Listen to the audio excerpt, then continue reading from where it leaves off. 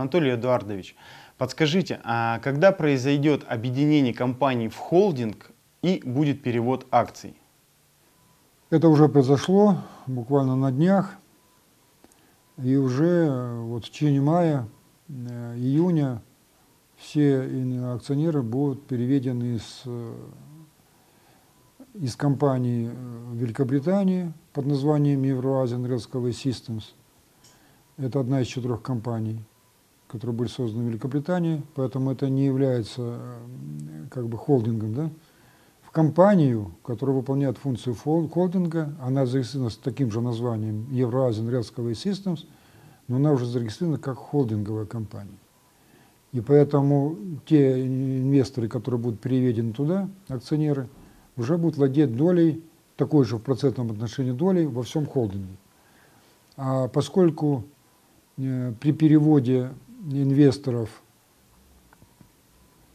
из одной компании в холдинг, то, естественно, э, доля э, должна увеличиться на весь мир с одного континента Евразия на весь мир, поэтому там будет переводной коэффициент, потому что количество акций благодаря этому будет увеличено, потому что это уже будет участие в проектах во всем мире.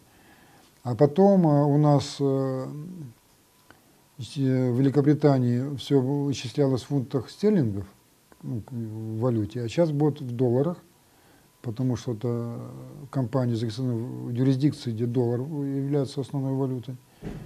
Поэтому тоже будет переводной коэффициент из одной валюты в другую. Поэтому в общем сложности это будет где-то коэффициент около трех, там 2,95, это все еще зависит от курса валют на момент перевода акционеров, ну около трех.